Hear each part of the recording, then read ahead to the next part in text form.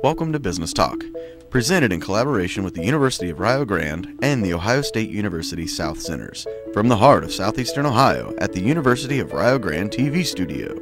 Our goals are simple promote the University of Rio Grande and the Ohio State University South Centers, as well as advocate local small business and their support organizations. More importantly, promote Southeastern Ohio as a wonderful place to live, explore, and learn. There are many different ways you can find us. The University of Rio Grande Cable Access Channel 17, live online at blogtalkradio.com, and on YouTube if you are unable to catch our show live. Introducing our co hosts Jason Winters, Mike Thompson, Patrick Dengel.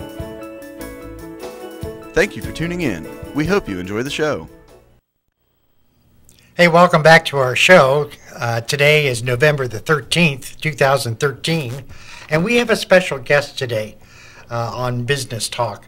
Business Talk is a uh, uh program that uh, is a half hour informational uh, program in which it's sponsored by the University of Rio Grande and Ohio State University South Centers. today, as I said, we have a, a special guest, Alex Kresser. Alex uh, was born and raised in San Jose, Costa Rica, and has lived in the USA for about eight years. Uh, she has 16 years of experience uh, in marketing, advertisement, branding, and graphic design. Uh, she has worked for BBDZ. BBDO? BBDO. Uh, you have to help me with this one. That is uh, Saatchi and Saatchi and McCann Erickson, the advertising companies. Uh, some of them are based in the U.S. and Saatchi and Saatchi, uh, its headquarters are in London. Fantastic. Yes. So you're you're multi multi uh, national nationality. Um, but you you you come here. You're part of the uh, State Farm organization, and your goal has been to uh, share a, a, rare and exciting State Farm career opportunity that uh, business entrepreneurs really find uh, to be of great value.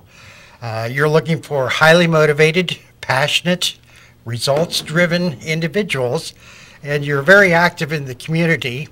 And uh, you also serve on the board of Dayton Hispanic Center. I think that's fantastic. Yes, the Dayton Hispanic Chamber. I've been with that board for the past uh, seven years.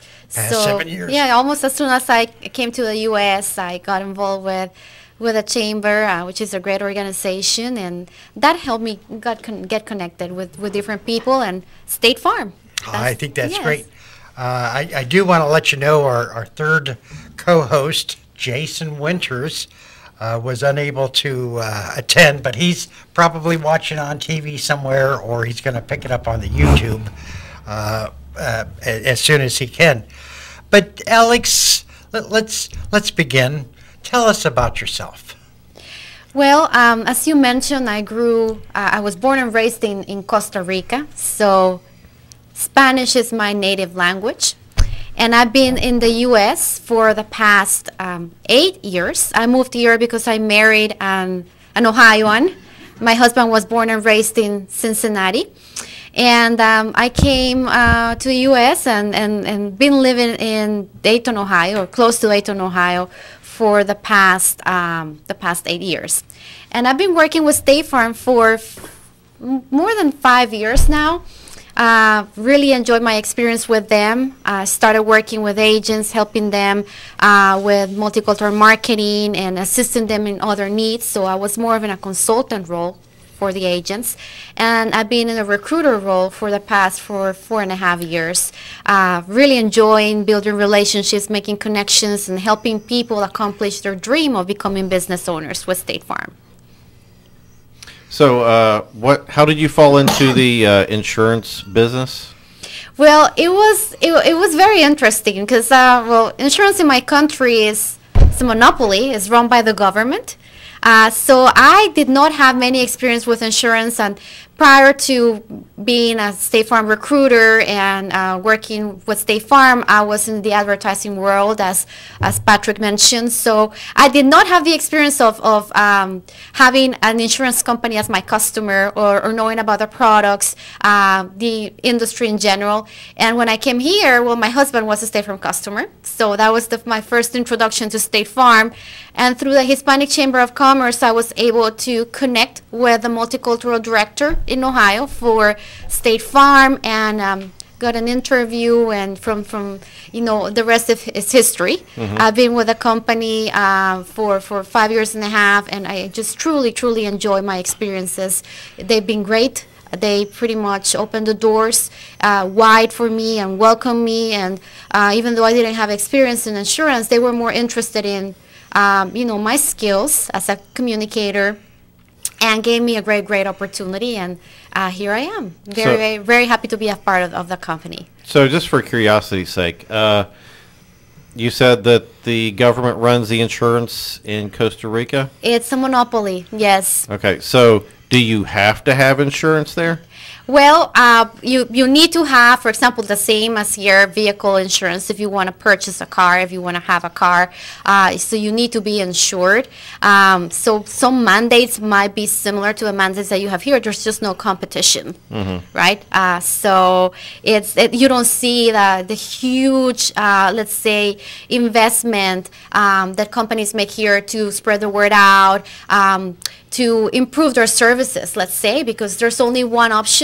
Y- It is what it is. Here, you have the com- you know the competitiveness between the companies, the, the rates, the service. So I think that definitely helps when you have that healthy competition and people are more informed about their choices and they have more choices. So it was very interesting, very very interesting experience to learn about all of this while learning the language and the culture at the same Yeah. time.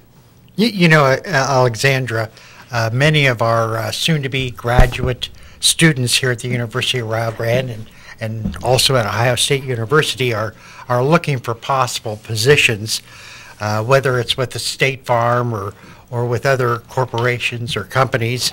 Uh, one of the, the uh, things that I really liked when we were talking earlier uh, th- this month wa- was some of the do's and don'ts um, that students should be aware of. Well, anyone should be aware of when they do uh, an interview of some sorts. Uh, what what are some of the the the tips or the resume do's or don'ts uh, w- we need to be aware of? Sure. Well, there's definitely there's uh, nowadays there's so much information also online that if you're putting your resume together, uh, you you can um, you know get a hold of and all these different tips. But I would say what you need to keep in mind is whether you're you know an undergrad or you you know a graduate student, um, alumni, what have you. Uh, you should always make sure the first you use the right format in your resume and that you highlight the most important experiences that you have. If So you're a you should student, highlight the most experiences. Yes, the, most great- important mo- experiences that most you have. And, and, and set yourself apart from the thousands and thousands of other job seekers that the recruiters might be getting connected with. And, and also keep in mind that whenever a recruiter sees a resume, they probably spent just a few seconds going through, through I- that I heard information. eight seconds. It's six seconds. That's Six uh, yeah. Well, I sometimes spend a little bit more just because of the language barrier, so I need to kind of focus a little bit more on the resumes. But so it's very little time that you have to make an impact, which is why you have to make sure that you use the right format. First of all, that uh, you know it's, it's a clean um, presentation. Use um, you know uh, traditional fonts. Don't get too too too crazy with the creativity and you know. Don't use green and yellow paper and all that stuff. no, no, no. Try to make it as easy as possible for someone to read. And, and, and also organize the sections accordingly to your experience. If you're a student, you probably want to highlight your your academic experience because it's what's most recent, and maybe you don't have a, a long work history. So you want to start with those accomplishments, those achievements. Uh, highlight your GPA. Uh, if you won a scholarship or an academic award, um, if you um, you know your, your major, what whatever experience you have had, also in terms of volunteer being a volunteer, a leader, uh, working in a team environment. Uh, all those experiences and skills are important, and that's what recruiters are looking at. And do not, do not start your resume by saying, I'm looking for an entry level position where I can apply my skills and benefit the organization. I mean, don't, don't start with that objective statement that everybody absolutely everybody includes in their resumes when they're getting they're trying to get their foot in the door and start working in the business community just really make make it personal about yourself your skills what you're best at what you're good at what you can bring to the table because that is going to be a very powerful introduction for what follows so if you're a student keep those things in mind use power power words or power um, ver- verbs where you say um, include words uh, as led, as met, as uh, initiated, developed. Um, achieved, created, all these different things, and just make sure that you're wording everything well. And you know, less is, is, is more in this case. You don't want to have five pages long of explaining every single experience and hobby you have. No, you have to focus on what's, what really matters and what's important.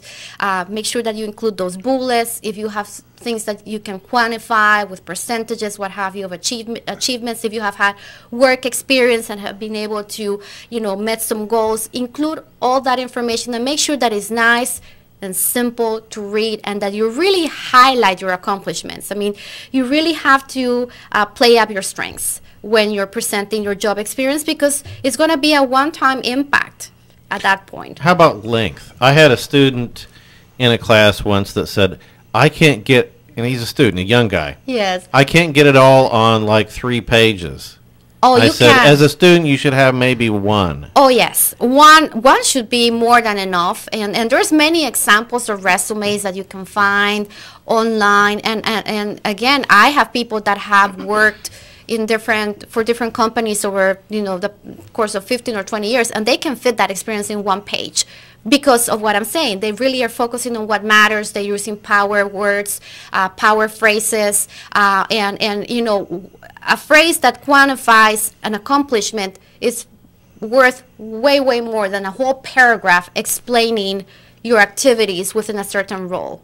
So uh, you can do it. I mean, it can be done. It's- you it's might need to work on it, but it can be done. It's rather interesting, Mike, uh, when, when uh, we were talking, I just happened to Google, uh, I don't mean to use the word Google, I, I web searched resume writing power words, and there was a whole list of different recommendations and tips, et cetera. So that, that's, uh, if someone doesn't understand those power words, there's page after page of, of tips. There is, and also um, another good tip to keep in mind is that when uh, when uh, whenever they upload a resume, you go online or even on LinkedIn, if they build their profile, to include keywords such as leadership. Um, you know, managed, supervised, uh, team player, things of this nature, because a lot of the search uh, engines or the systems that, that we have in place to find resumes and, and leads and prospects look for those keywords. And and that's how initially um, i guess it's the electronic eyes that are going to be looking at these resumes before they even get to you know human eyes. So that's why you have to to make sure that you build your resume accordingly to your experience and that you also connect with the right organizations and the right you know online uh, tools uh, media um, social media because you don't want to just shoot your resume everywhere you want to be very targeted on who, who you want to approach because if not then people are not going to take you That's, seriously That's something I've told people or students that they should be, they should have a resume for each job. yes You know, there's each job has a particular skill Skill set, or yeah. outcome or whatever, and you need something tailored to each one, not just a general one. it, it, it's so so true. And i give you an example. I receive resumes from people uh, being in insurance it, ha- it has to be with rela- do with relationship building. And yes there's sales involved but it has more to do with connecting with your customers and helping them and educating them to fulfill their needs. Well I receive resumes from people that say, looking for a position as a chemical engineer, you know, uh, in, in this such and such or such and such field has nothing, nothing to do whatsoever. Oh. With the job posting or, or, or what we're offering. So obviously these these people did Just not do blank, the yeah. research. They just made made one resume format, one cover letter, and they shoot that out to everybody. And immediately, immediately, I just put those aside because I just don't have the time. I want to focus on those that are doing their due diligence, getting informed, and doing their research. So, you said something about electronic sniffing. Is okay. I know I have uh, on my phone. I can let the phone listen to a song, and it tells me what song it is. I think there's an application for that SoundHound or Right. something like that. SoundHound. yeah. So, is there an application that goes through resumes that looks for keywords and brings the ones to the top that a uh, employer is looking for? Yes, yes, Yes. definitely. Okay. Um, you know, as as recruiters, where we use kind of different sourcing methods, but we enjoy enjoy working with social media. And every social media now from well linkedin is the one that i use the most. You can uh, include some some keywords to do a search and then the people that are going to show up are people that have those keywords or descriptions within their profiles. And So, do you knock on their door instead of you well, them contacting you? It in in social media is more kind of me knocking on their door because I'm Okay. trying to, to get that you know conversation started. But you know, Career Builder, Monster.com, and all those these, these different um, career websites where people are actively looking for employment and they upload their information and share their resumes with employers those those um, those search engines are already built into those those uh, websites where recruiters can go in and do their searches and find the right people based on these keywords. So that's why it's so important that you have a, a, a well-written resume that includes those power words, so that whenever uh, folks are trying to connect with you and the people with your special set of skills, that you actually pop up in those searches.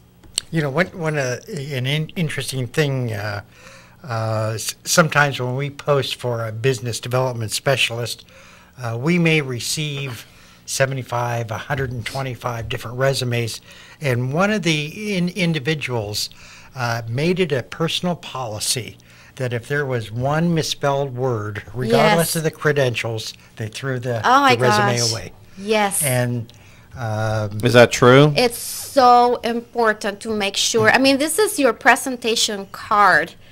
You have to proofread it over and over and over again and make sure that is everything is you know spelled and have properly. someone else look at it because sometimes Yes. you are tired of looking at it and it just looks right. a fresh set of eyes is always advisable yes but that's that's very important what you're saying definitely and including dates so just make it easy easy to read because if you put everything all mixed in together a paragraph it's it's just i mean the recruiter's gonna go oh my gosh okay uh, no, I, I'll deal, deal with you later. Yeah. You have to make it easy for whoever's going That's to right. be looking at it to find out what your strengths are, what you're looking for, what you can bring to the table. Well, let, let, let's just suppose uh, the, the resume went through. Uh, what, what are some um, interview tips uh, when you're sitting down with, with the recruiter for the first time? I would say the the most important tip that I can give someone is to be prepared and do their their, their you know their research before interviewing. Find out who they're interviewing with because it could be a panel interview. And oh surprise, you come in that day and you thought you were going to be meeting with one person and there's seven people waiting for you. And you don't want to put yourself in that situation. So definitely, uh, prior to the interview, uh, make sure that you have, you know, the date, the time set, that you're, you know, punctual, that you get there hopefully 15 minutes before, and make sure that you're wearing the, the proper attire. You know, uh, you know, very conservative attire. Don't use you know dangly earrings and if you're a girl if you're a, a, a guy don't show up in jeans with a jacket i mean you have to obviously uh, so I the professional etiquette I, I shouldn't wear earrings. it might look good on you. You might be, you can go by with, with wearing earrings. Um, um, so that being said, just make sure that you know who you're meeting with. Right? And uh, if you can even find out about the, the people you're meeting with, I mean, you can do Google searches, you can go to a company website and find out their names and their positions so you're better prepared for that interview. Um, and if it's a, a group interview, a panel interview, make sure that you're engaging, that you make eye contact.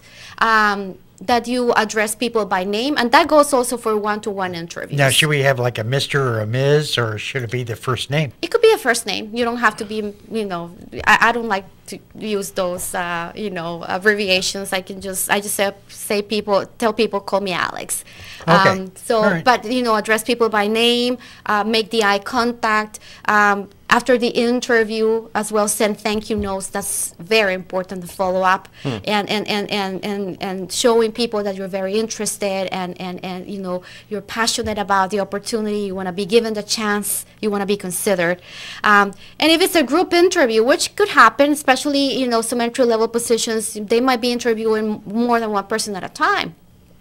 Well, in those cases, it's important to be a team player, right? Uh, you know, people are going to maybe be given the, the same answers. Uh, so, you know, kind of think about some questions you could be asked and possible different answers so you can set yourself apart and be a team player. Think about the, you know, the rest of the people that are meeting uh, at the same time with you as your coworkers and that you're working in a team environment and that will put you you know in a really really good position um, um, you know compared to the other folks Okay, are you talking about the group interview being uh, the group that is interviewing you as a group, or you might have other people that are competing panel. with the job, Yeah. all The in the same room? The first uh, example was the panel interview where you come in by yourself and then there's like seven people in the room interviewing you. Okay.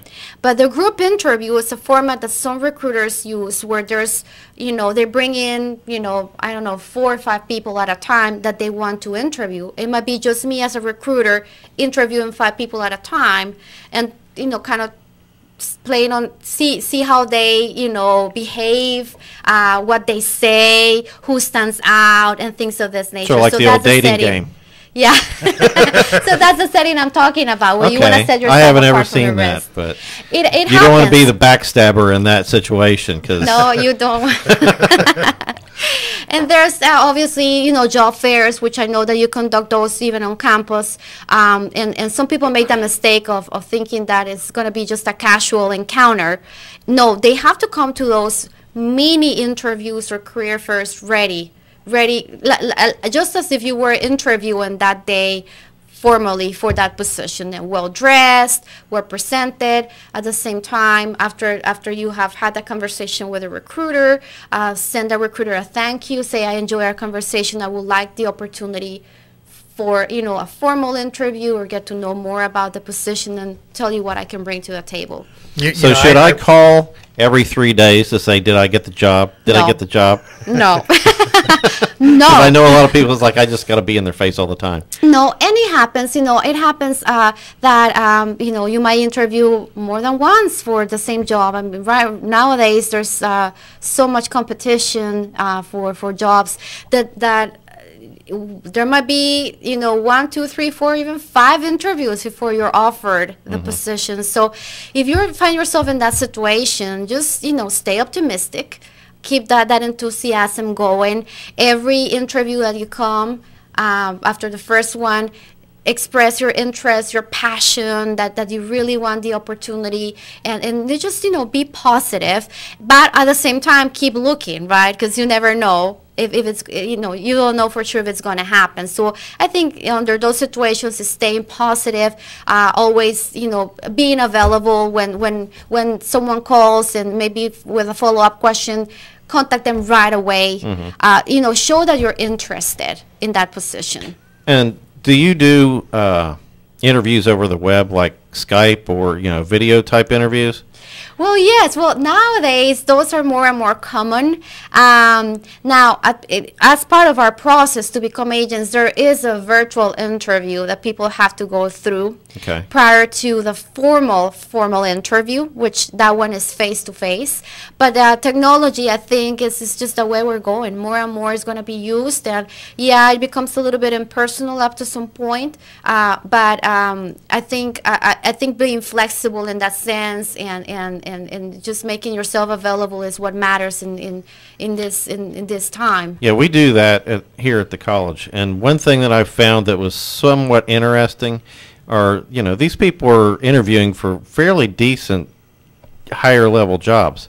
And when they interview on Skype, they don't dress up.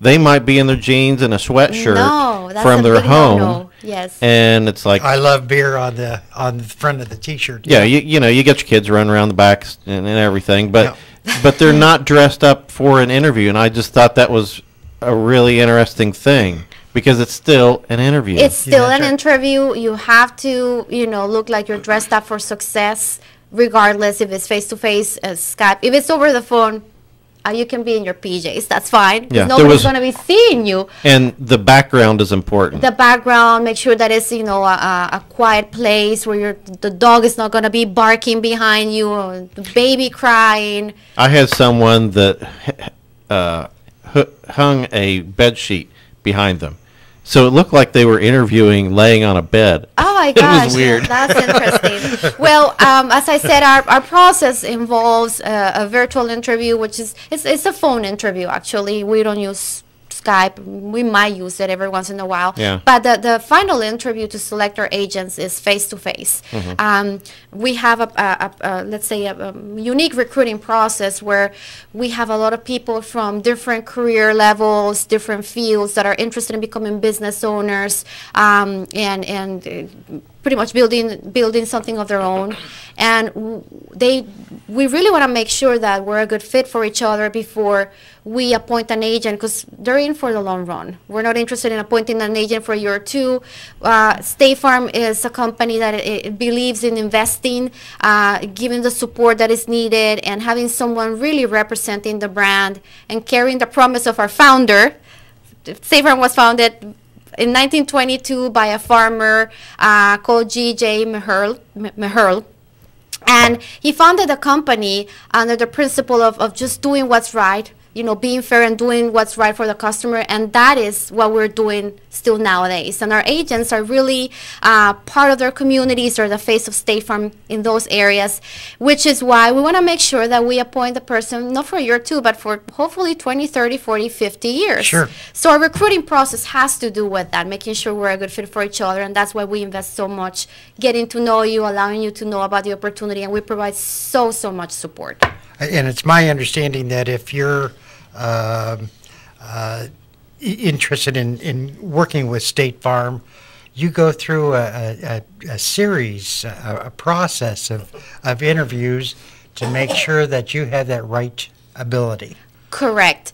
There's a, a big investment that State Farm makes uh, whenever we bring an agent on board.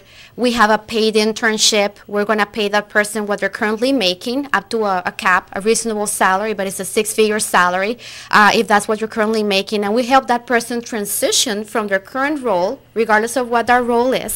It could be a teacher in a high school. It could be the VP of, of a, a bank. But if they have a core competencies that will make them successful as, as, as, as uh, advisors and educators and members of that community and business owners, then we will provide the training. So there's a pay training, there's a signing bonus that we provide to help them jumpstart their business. And in Ohio, we provide an established book of business for those people. So there's a huge, huge investment.